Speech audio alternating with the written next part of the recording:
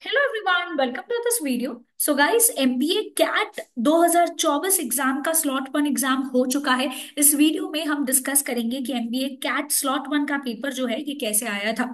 So guys overall मैं बता दूँ तो पेपर का डिफिकल्टी लेवल जो है 2023 के कंपैरिजन में काफ़ी ज़्यादा इजी आया था। जिस तरीके से स्टूडेंट्स का हमें रिस्पॉन्स देखने को मिल रहा है ओवरऑल पेपर का डिफिकल्टी लेवल जो है ये इजी से मॉडरेट गया था। चलिए सेक्शन वाइज एनालिसिस करते हैं कि कैसे क्वेश्चंस हमें पूछे गए थे। सबसे पहले वीएआरसी की बात करें तो बहुत इंपॉर्टेंट अपडेट हमें देखने को मिल रही है कि इस बार एग्ज़ाम में पैरा जंबल्स जो है, ये नहीं पूछे गए थे। ये बहुत बड़ी अपडेट है गाइस क्योंकि यहाँ पे हमें देखने को मिल रहा है कि एग्ज़ाम में पैरा जंबल्स नहीं पूछे गए। टाइम जो है, बहुत सारे स्टूडेंट्स का सेव हुआ ये क्वेश्चंस नहीं पूछे जाने पे। साथ ही साथ टीटा के क्वेश्चंस जो है, हमें इस बार एग्ज़ाम में ज़्यादा देखने को मिले हैं। चार आरसी पूछे गए थे बीएआरसी में।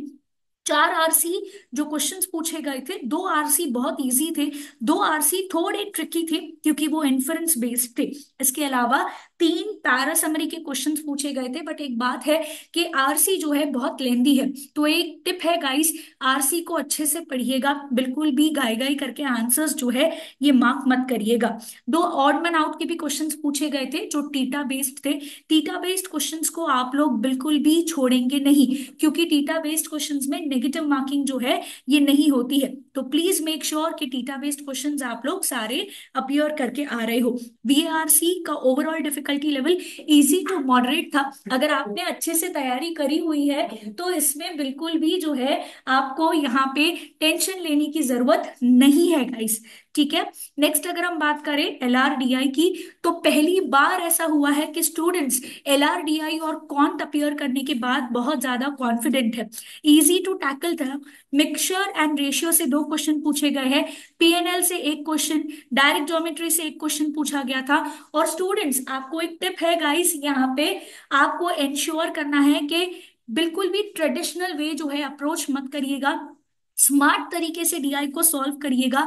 डीआई बहुत ज़्यादा आसान है। यहाँ पे एल एलआरडीआई में हम बोल सकते हैं कि दो बारग्राफ के क्वेश्चंस भी पूछे गए थे। अगेन ये सारे क्वेश्चंस क्या थे? इजी थे। इसके अलावा डायरेक्ट रिमाइंडर के क्वेश्चन आए थे।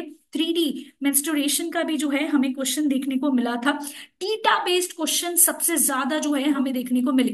टीटा बेस्ड क्वेश्चंस जो है हमें 10 से 12 क्वेश्चंस जो है देखने को मिले।